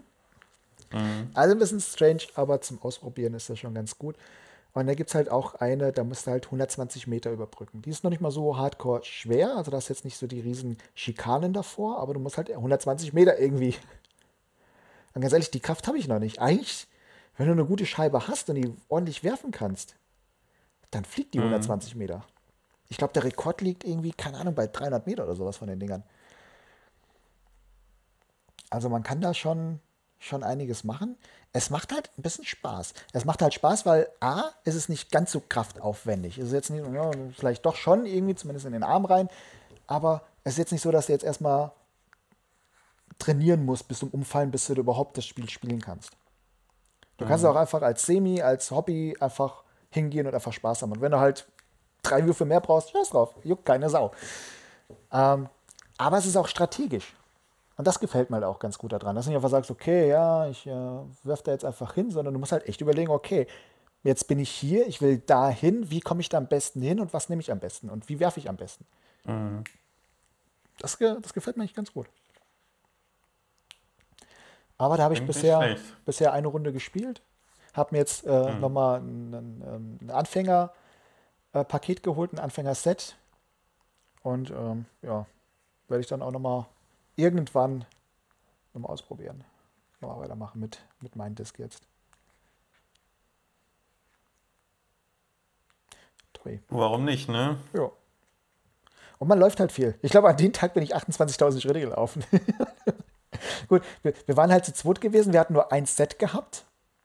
Mhm. Das heißt, du hast immer nacheinander gespielt. Das heißt, du bist dann die 120 Meter hingelatscht, bist dann wieder zurückgelaufen, hast wieder hingelatscht. Also man läuft auch sehr viel. Ist wahrscheinlich auch gar nicht mal verkehrt, so ein bisschen in der frischen Luft, aber halt auch ohne Hektik. Weißt du, hast du gesagt, okay, ich habe jetzt Nachmittag Zeit und dann nehmen wir uns halt einfach die Zeit. Aber da ist dann auch nichts los. Also beim Minigolf ist es ja so, dass hier meistens schon wieder einer auf den Füßen steht, der nach dir auf die Bahn will. Ey, bei uns habe ich keinen einzigen gesehen. Du musstest nur mal kurz, äh, kurz ab, ab und zu warten, weil es war halt im Park. Da sind halt auch die, mhm. diese Parkwege. Und du musst halt ab und zu mal warten, dass ein Rentner halt mal vorbeigelatscht ist. Nicht, dass du den halt abtriffst, mhm. das wäre halt schlecht. Das gibt Minuspunkte. Ähm, aber ansonsten, dass da jetzt schon direkt der Nächste stand und du sagst, hier wirf mal schnell, weil ich will jetzt auch, hat's du nicht. Das war verlassenes Gebiet. Ah, das, okay. ja, das war schon ganz okay gewesen. Ja, mal sehen, vielleicht werde ich da noch Profi drin. Wahrscheinlich eher nicht, aber es gibt sogar Turniere. Du, du glaubst es nicht. Es gibt eine eigene eine Liga für und so was. Das überrascht mich jetzt nicht. Also ich Menschen äh, maximieren ja alles, was sie machen. Also ne? Da gibt es die Hessenmeisterschaft, da gibt es die Deutschlandmeisterschaft, da gibt es die Weltmeisterschaft. Und wenn du da mal Videos anguckst von denen, wie die halt werfen, denkst du also, alter Falter, nicht schlecht. Da musst du aber wirklich ja deine Scheibe wirklich kennen. Weißt du, dass du sagst, okay, die werfe ich jetzt so und so, dann fliegt die auch so und so. Also seit ich weiß, dass es Meisterschaften im Auf einem Baumstamm hocken gibt, äh, schockt mich gar nichts mehr. ja, oder Fallsitzen gibt's. Ja, ja meine ich doch. Ja. Ich glaube, es gibt Meisterschaften für alles. Der Mensch ist halt. Gibt auch eine kreativ. Meisterschaft im Filme gucken? Das weiß ich nicht. Das weiß ich nicht. Man kann ja mal, man kann mal fragen hier. Gibt es eine Meisterschaft in Filme gucken? Ich habe doch hier. Äh, ich frage doch mal äh, die KI. Ich, ich frage mal ChatGPT. das gerade hängt. Na toll, jetzt gerade, wo ich mal was vorhabe. Ansonsten geht es mir den ganzen Tag auf die Nüsse. Aber jetzt, wo ich mal was wissen will, dann gibt es keine Antworten. Das ist ja toll. So. Ja, komm, hier. Interessiert mich nicht. Sag mal, warum hakelt denn das jetzt wie Sau? Ich kann es dir nicht sagen, ob es eine Meisterschaft in Filme geben gibt. Gibt, oder mal, gibt es eine Meister. Ansonsten wäre ich aber auch nicht so gut da drin. Ich meine. Ah, nee, man war mal besser, sagen wir es mal so. Diese Woche bin ich ja mit zwei Filmen, die ich geguckt habe, schon mega krass dabei. mhm. Nee. Es gibt hier irgendwie ja Filme über Meisterschaften, ja super. das überrascht mich jetzt hingegen wieder nicht so. Nee, nee, gibt es natürlich keinen Film. Also es gibt nicht für jedes eine Meisterschaft, aber für viele, wo man sagt, das ist vielleicht ein Sport, da gibt es. Äh mhm. Übrigens eine witzige Klammer zwischen zwei Sachen, über die wir heute gesprochen haben, habe ich gerade zufällig gefunden. Denn James McAvoy wird eine Rolle spielen in dem Remake von Speak No Evil, was die Amis gerade machen. die, die Amis machen ein Remake davon. Ja. Oh, nee, ich glaube, das funktioniert nicht. James Watkins ist der Regisseur. Muss mir da was sagen? Was hat er sonst so gemacht? Also der Name sagt mir irgendwas. Lass mich mal kurz gucken. Ah, der hat Eden Lake gemacht. Das war in meiner Jugend so ein äh, angesagter Film, wo Michael Fassbender und seine Frau von so Jugendlichen gequält werden. Hm, schön, klingt toll. Ja, ist halt so ein Horrorfilm, ne? Bastille Day falls du da noch was sagt, mit Idris Elba und hier Rob Stark. So ein Actionfilm von 2016. Mm. Und danach hat er, glaube ich, ja nur noch so Fernsehserien gemacht. Oh, und die Frau in Schwarz hat er auch gemacht. Das hat mir wieder was. Ja, das ist der Horrorfilm mit Daniel Radcliffe, wo man sich beim Trailer schon in die Hose macht. Vielleicht solltest du lieber den gucken statt äh, Speak No Evil. Ja, nee, ganz ehrlich, das, also das war mir schon wieder zu gruselig. Nee, ganz ehrlich, dann guck doch lieber Speak No Evil in, in Original an, statt da das amerikanische Remake. Aber ich mag James McAvoy. Ja, okay. Wenn du das jetzt dir anguckst, nur wegen den Schauspieler, dann bitteschön. Ja, vielleicht gucke ich mir auch beide an. ja. Dann wirst du den anderen, also dem amerikanischen Remake, wirst du dann wahrscheinlich sagen, so, okay, ja, kenne ich alles schon. Aber vielleicht ist es auch ein Film, den man zweimal angucken kann, damit man vielleicht äh, beim zweiten Durchschau andere Sachen nochmal bemerkt als beim ersten Mal. Und dann kannst du das amerikanische Film, weil die sind sowieso 1 zu 1 äh, größtenteils, dann kannst du dann ein amerikanische Remake als zweite Version dann angucken. Ja, mal schauen. Ja. Hast du noch Aber was im Angebot? Ich bin durch Ich, für diese ich, ich Woche. überlege gerade. Es ist immer so, dass du sagst, boah, und das und das und das. Ich habe leider irgendwann mal aufgehört, mir eine Liste zu schreiben. Ne, damals hatten wir wirklich schön alles aufgeschrieben. Boah, das habe ich gesehen und bla bla bla und hier interessant und darüber kann ich reden. Und mittlerweile ist es so, ja, das fällt dir dann alles ein. So, und nach dem Podcast weiß ich ganz genau, dass mir wieder drei Dinge einfallen werden, wo ich mir denke so, oh nee, darüber wolltest du eigentlich auch noch quatschen. Nee, nächste Woche. Am Arsch, ey. Ach so, das kann ich übrigens mal erzählen. Ich fahre jetzt, äh, ich habe Urlaub in zwei Wochen. Mhm. Und ich fahre Samstag nach Stuttgart und komme dann erst den Sonntag danach wieder. Das heißt, ich bin wahrscheinlich zwei Wochen raus. Oh mein Gott. musste mit Jengis klarkommen. Was heißt denn klarkommen? Wir kriegen das auch hin, aber. Naja, gut. Nee, weil ich habe äh, ich hab mir gedacht, ich fahre mal wieder runter. Die Leute habe ich ja jetzt auch schon seit anderthalb Jahren quasi nicht mehr gesehen. Und dann knacke ich erst bei einem Kollegen, so bis, äh, ja, bis Freitag. Und dann kriege ich noch Besuch von hier quasi dahin und dann bleiben wir noch zwei Tage im Hotel. und dann ist es Sonntag. Ja, läuft. Nee, mach doch. Ganz ehrlich, das ist ja der Vorteil, wenn wir hier zu dritt sind, wenn irgendeiner ausfällt. Guck mal, Ja. jetzt Cengiz ist ja diese Woche auch nicht da, irgendwie rundherum. Irgendwie funktioniert nur nichts, wenn ich nicht da bin. Dann ist irgendwie Stillstand. Ja, ja, weil wir genau wissen, du musst das ja auch technisch lösen hier. Also Jengis und ich haben uns ja auch schon mal hingesetzt und hier was aufgenommen, was dann dazu geführt hat, dass dauernd was nicht funktioniert hat und wir mal gesagt haben, ja, Dirk macht das im Schnitt. ja, stimmt, ich erinnere mich. Dirk macht das dann später, wo ich mir denke so, mhm, nur klar. ich erinnere mich. Nee, aber das sollte eigentlich auch gehen. Wenn ich dann mal irgendwann nicht mehr da sein sollte, okay, das klingt auch böse, aber Das das klingt jetzt so, als würdest du an dein eigenes Ende denken. Ey, das sollte man immer dran denken. Der Mensch ist leider so drauf, dass er meint, er wird 100 Jahre alt, aber man weiß es ja nie. Deswegen sollte man jeden Tag ja so leben, als wäre es der letzte und so viel Spaß wie möglich rausholen. Das hast du schön gesagt. Ja, das, das, das Wort zum Sonntag, das Schlusswort wahrscheinlich jetzt auch. Macht euch noch einen schönen Ja. Tag. jetzt könnt ihr was anderes hören. Ihr habt uns durch. Vielen Dank, dass ihr dabei wart. Wir hören uns dann vielleicht nächste Woche wieder. Macht euch eine schöne Zeit. Bis dann, haut rein. Ciao, ciao.